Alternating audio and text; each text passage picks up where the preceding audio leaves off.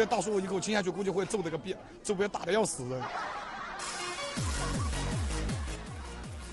估计会被打死吧？我想。哎，对对，你给我出那么一个损招呢？我看一下这个能行吗？这大哥长得真有范儿，大哥欢迎你来到成都。老板，一看就大老板。哥哥是从哪儿过来的？河北唐山。河北长沙，河北唐山。唐山。对。能用我们的那个唐山话跟我们那个什么，就是我们的全国的观众打个招呼吗？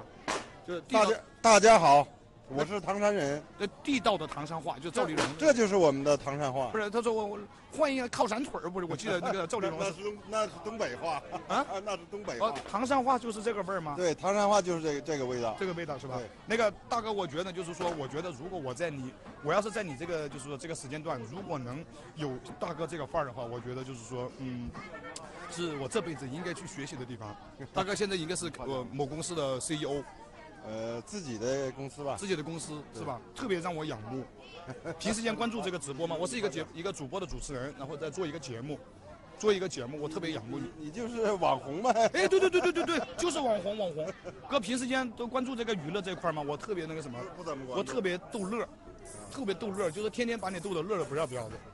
但是呢，有一该说不说。来，你进行下一个采访。没有，哥，我就想跟你互动一分钟。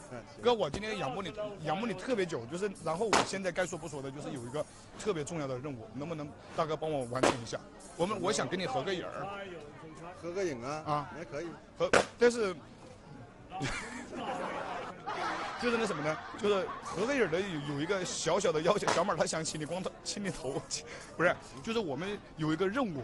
我今天我们在做一个综艺节目嘛，就是说找一个，我在跟他两个 PK，这是我助手啊，PK 输了，输了之后那个什么呢？就是我要跟你合影呢，合影就是说怎么合影，有点搞笑的合影，我要亲你一下。啊，可以可以。我亲你一下也可以。哎呀，这个可以吗？哎呀，我的个天哪！来来来来来，哎呀我，哎我就乐意了。把，哥你能稍微撅着点吧？我生活没没那么高。来，三二一，哎呦！祝你在成都玩的开心。